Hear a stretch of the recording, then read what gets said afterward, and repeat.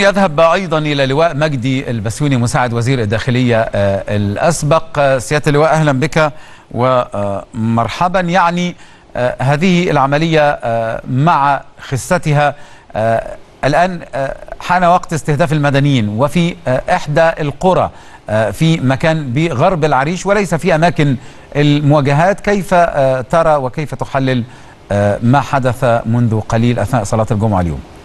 اولا كلمة واحدة رسالة واحدة 75 مصاب تحليل نعم. لهذا الحدث إيه هي؟ إفلاس. أن هذا دليل واضح وقوي جدا على أنهم افلسوا ليه؟ طب آه، سيادة اللواء أنا آسف لأنه جاءني الآن ال- الرقم آه، الرسمي حتى الآن 54 شهيد و75 مصاب. يعني ما آه، يعني لا, لا نذيع طبعا الأرقام حتى يتم التصريح بها بشكل رسمي ونكون متأكدين منها. الرقم الآن 54 شهيد نحسبهم عند الله شهداء و75 مصابا. نتمنى لهم النجاة والسلامة إن شاء الله. اتفضل يا سياده اللواء اتفضل لقد منحوهم معلش أنا هقطع التحليل. لقد منحوهم وسام من أرقى ما يكون. يعني نتمناه لنا جميعا وهو اولا أنهم استشهدوا في بيت الله وهم ضيوف الرحمن في بيته وصلاة ووقت صلاة الجمعة. طب مين يطول هذه الشهادة ال- الأسمى؟ ويعني آه، وربنا يرحمهم إن شاء الله وربنا يشفي آه، الشهداء. اللي أنا عايز أقوله بقى أكمل لك. أولا ده إفلاس. إفلاس ليه؟ إفلاس نمرة واحد أنكم عجزتم عن مواجهة القوى الأمنية القوات المسلحة. م- ما طب ما العريش ما شمال سيناء ما هي منتشرة و- وقول أمن وتحركات. عجزتم إن كنتم تواجهوه تواجهوهم دي نمرة واحد. نمرة اثنين إن كنتم لجأتوا إلى قرية. يعني مكان ومسجد. والمسجد فيه مصلين. طيب أنتوا النهارده اللي عايز أقوله بقى كنتوا بتكفروا الشرطة بتكفروا القوات المسلحة بتكفروا المسيحيين. طب واللي في بيت الرحمن. ده ضيوف عنده. إحنا كتقاليدنا وعاداتنا ان أنا لو حد جاء أه- أه- أهان ضيف عندي في بيتي هو اعتدى عليا إحنا مش هم يا سياده اللواء مع الأسف نعم. يعني إحنا مش هم إحنا اللي عندنا تقاليد زي دي ما أنا بقول لك لكنهم هم- يعني أنا- آه أنا- شيء خسيس أنا- جدا للغاية أنا عاوز بس يعني أفهم اللي ممكن يكون عنده ذره تعاطف. اللي ممكن يكون بيتفاهم أو. أو بيهلل لحاجة زي كده. أو اللي دعموهم أو اللي مدوهم بالفلوس أنتوا اعتديتوا على بيت الله. بيت الله. وكفى ما نتذكره ما حدث في رابعه وهي بيت من و... و... وهي بيت الله. دي نمرة واحد. افلاس يا سيدي. افلاس دي نمرة واحد. نمرة اثنين بقى اللي أنا عايز أقوله. اتفضل. إنك إن إنها كمان حتى الوسيلة في حد ذاتها الأسلوب في حد ذاته إيه؟ مش بالأسلحة الآلية ولا بتاع ده تفجير. والتفجير سهل جدا تزرع ال- ال- العبوة عند المسجد وتفجرها بالريموت. إيه المهارة في دي؟ نمرة ثلاثة علشان ما اعطلكش بأن أولا إذا كان زي ما قال ال- الأستاذ المنير آه. أنها نكاية في الدولة. نعم. ده على لكل من يسمعني النكاية في الدولة مال دي ومال الناس المسالمين المصلين. طب ما أنت عندك الدولة بأجهزتها بمؤسساتها. أنت فشلت إنك أنت تواجه الدولة. فتقوم تواجه الناس العزل من السلاح الأمينين اللي داخلين يصلوا فريضة الجمعة اللي ربنا خصها بس- ب- ب- بسورة في القرآن. أنت بتعمل إيه؟ نكاية إيه؟ دي دي- ده ده هبل وتخبط وجنون وتخلف عقلي. لا عقيدة ولا زفت مفيش عقيدة فيه. اللي أنا عايز أقوله بقى هنا طيب أنت لجأت للقرية يبقى دليل إنك أنت مخنوق في أماكن تانية. ودي تديني رسالة وطمأنينة أن زي ما بقول برضو أنهم فشلوا في المواجهة.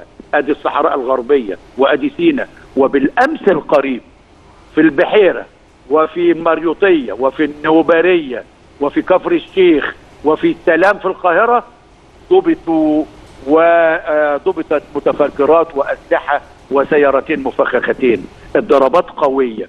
أنا عايز أقول للسادة المشاهدين ما ننزعجش الحادث صحيح أنه أدى إلى استشهاد ووفاء و... و... وإصابات لكن ما ننزعجش منه لأنه حادث خايب في أسلوبه في تفكيره في استهدافه. فدي تطمنا أكتر. طيب طب نعمل إيه بقى؟ نعمل إيه؟ أنا بقول بقى ده تنشيط. يعني آه ده ده الكلام عنهم. آه علينا أيضا آه بالمناسبة آه ما أنا عايز بس أثير نقطة صغيرة سيادة اللواء. آه اتفضل. آه لأنه ما هو الجيش والشرطة بيواجهوا.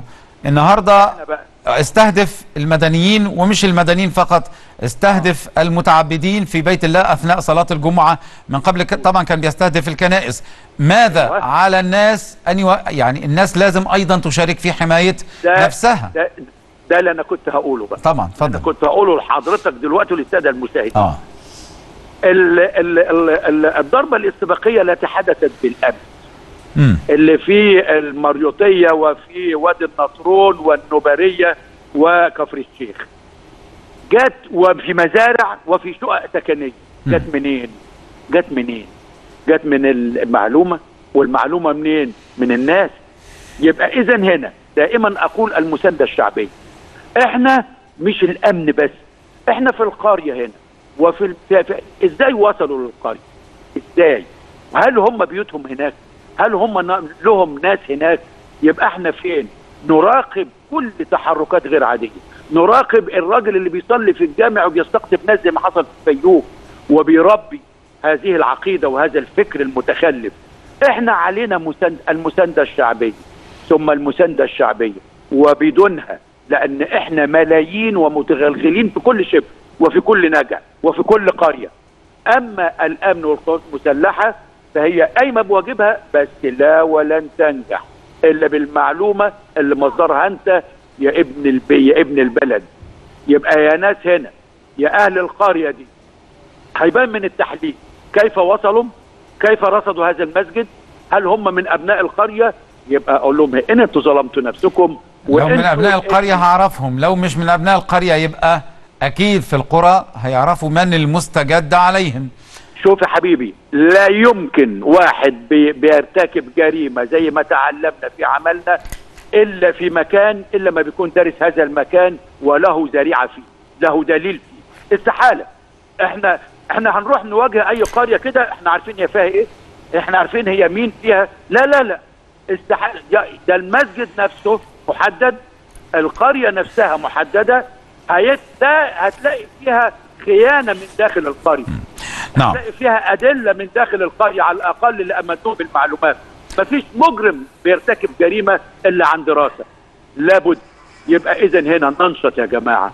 ننشط ونفوق. ليه؟ هو عشان دول ناس أو على فكرة عايز أقول لحضرتك حاجة نسيتها.